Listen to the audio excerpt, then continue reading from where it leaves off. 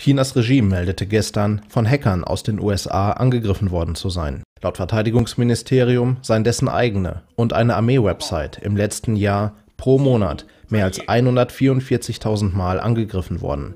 Zwei Drittel der Angriffe ließen sich anhand der IP-Adressen in die USA zurückverfolgen.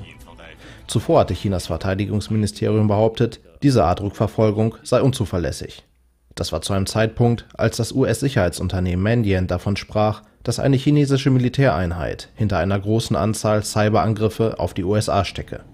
Chinas Gegenbehauptung wurde auf der Website des Verteidigungsministeriums veröffentlicht. Zu der vorgeschalteten Pressekonferenz hatten ausländische Medien keinen Zutritt